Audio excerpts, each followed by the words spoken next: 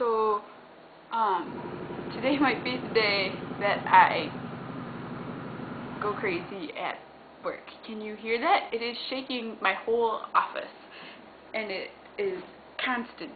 And I looked out the door to see what it was, and there's a big masonry truck parked in my driveway. Not my driveway.